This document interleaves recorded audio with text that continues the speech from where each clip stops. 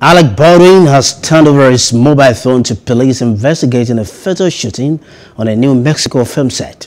Cinematographer Halyna Hutchins was shot as Mr. Baldwin, 63, rehearsed drawing a prop gun on the set of the movie Rust in October last year.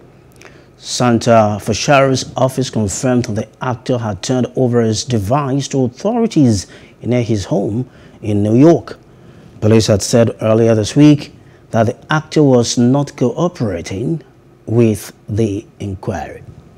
Hello, hope you enjoyed the news. Please do subscribe to our YouTube channel and don't forget to hit the notification button so you get notified about fresh news updates.